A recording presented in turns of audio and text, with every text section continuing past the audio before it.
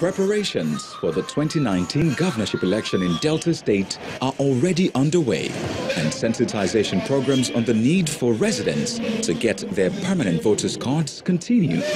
The Ogbeogonogo market in Asaba Delta State is under lock as the Directorate of Orientation in the state enlightens the traders on the importance of getting their PVCs. Governor make we dey come closer to closer with you people. Apart from the contributory health scheme, Governor, because of the importance of this segment of the society, the informal sector, is also working towards assisting the market men and women. Some of the traders expressed their worries on issues they feel could make voting difficult. It's a market that has been on for a very, very long time. It should be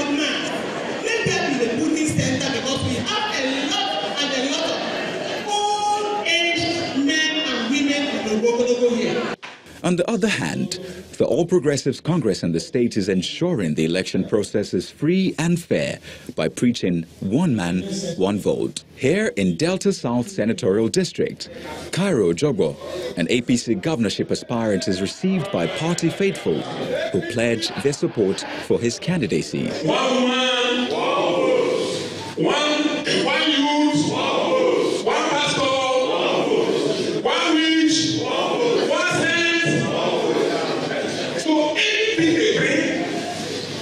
we will be there to let them know we can handle it. The governorship elections are still a while away, giving various state government and independent organizations ample time to educate the populace on the importance of registering to cast their vote.